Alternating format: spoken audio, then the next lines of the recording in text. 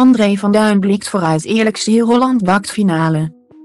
Presentator André van Duin ziet de finale van het programma Heel Holland bakt altijd als een soort reunie. Zo vertelt hij aan persbureau ANP. Hij noemt het zo omdat oud-deelnemers er zijn. Samen met familieleden en vrienden van die finalisten. Het is meestal wel slecht weer en het wordt vaak wel laat, voegt Van Duin toe. De finale is dit keer anders dan anders. Het is de eerste keer dat er vier bakkers in de finale staan. In plaats van drie. In de halve finale viel niemand af, omdat deelnemer Zineb ziek was en niet mee kon doen. Het was de beste en eerlijkste manier om dit te doen, meent Van Duin.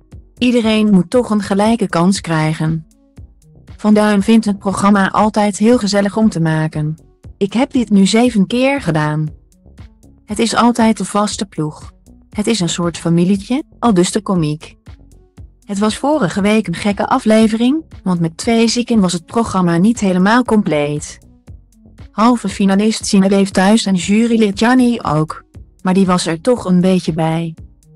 Door middel van een videoverbinding op de tablet.